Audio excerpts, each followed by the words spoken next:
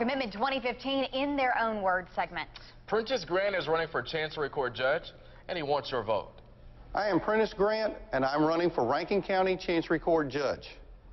The duties of a Chancery Judge are varied and range from settling land and contract disputes between people and businesses to presiding over commitment hearings for those in need of medical attention. The bulk of Chancery matters are family issues, divorces, adoptions, paternities, child custody and support, grandparent visitation. As a resident of Rankin County for 25 years, I believe I have the experience necessary to be your next Chancery Court judge. In my 25 years of legal practice, I have represented numerous people and businesses in courts across the state. In addition, I bring 52 years of life experience to the court. Following my divorce, I was a single father with custody of my two daughters. I understand the challenges single parents face every day.